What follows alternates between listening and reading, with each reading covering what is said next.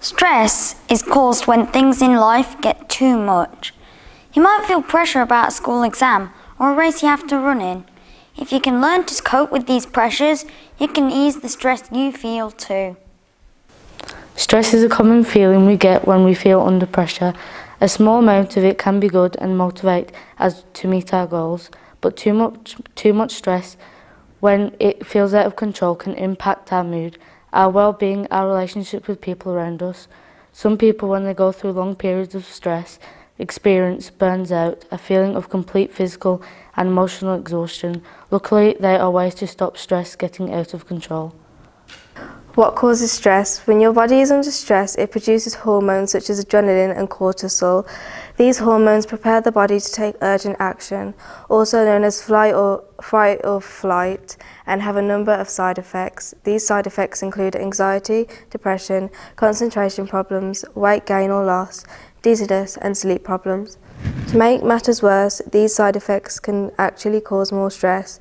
This is why it is important to find ways to cope with stress so that you can deal with it as soon as it comes. Dealing with stress. When people are under stress, they react differently.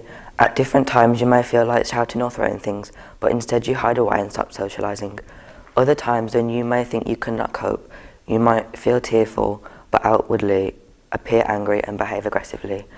Learning to de deal with stress can take a lot of practice, but it is worth it in the long run. Here are some tips to help you out when stress is getting the better of you. Recognise triggers. Begin to track times where you have felt stressed and look for patterns in how you reacted. What was happening when you felt stressed? What did you think or feel or do just before you felt stressed? Awareness. Once you are aware of difficulties that are likely to make you feel stressed, you can take steps to prevent stress or deal with it quickly. Self-care. Be kind to yourself. Stress is a human experience.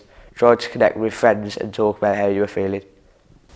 Exercise and relaxation. Some people find that exercises and activities such as breathing exercises and deep muscle relaxation are helpful. Eat well and sleep. The better rested you are, the more able you are to cope with pressure. Talking therapy. If you are finding it difficult to cope, consider meeting with someone trying to help. This might include your GP or talking therapy.